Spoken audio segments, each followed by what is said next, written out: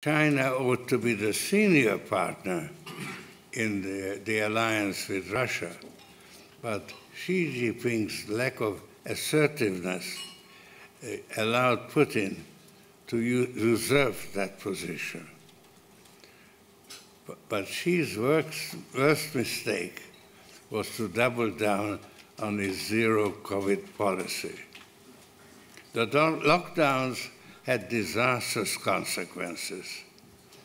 They pushed the Chinese economy into a free fall that started in March and will continue to gather momentum until Xi reverses course, which, will, which he will never do because he can't uh, admit a mistake. Ukraine already showed in 19, uh, uh, 2015 that, it can fight for freedom.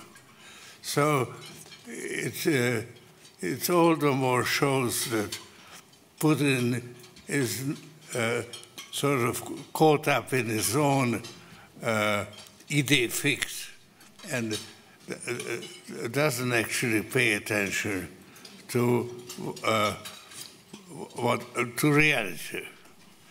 Uh, and I, uh, uh, so I think uh, Ukraine today is rendering a tremendous service to Europe and to the Western world, to open society, and uh, uh, our survival, because they are fighting our, our fight.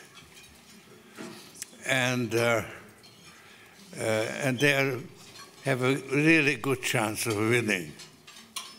So uh, uh, we are very uh, happy to have them